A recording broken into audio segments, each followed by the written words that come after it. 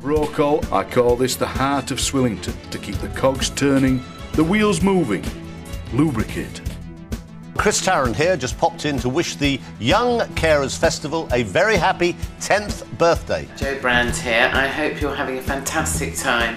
I'm Sir David Jason, and uh, I'm delighted to take a couple of minutes out from my rehearsals. I salute you all and admire you. Enjoy yourself. We discovered this extraordinary, beautiful jewel like paper. And usually they were made and hung so that they could be removed, used elsewhere, or stored away as if they had been antique objects. I haven't ever cleaned a squid, it's quite worrying. what?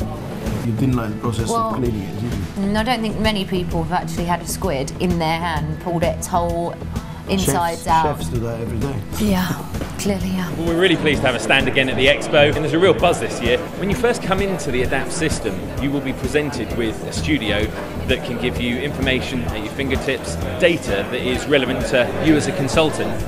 In 1930s Germany, anyone who didn't fit the Nazis' idea of perfection was exterminated. So what happened when they came across someone like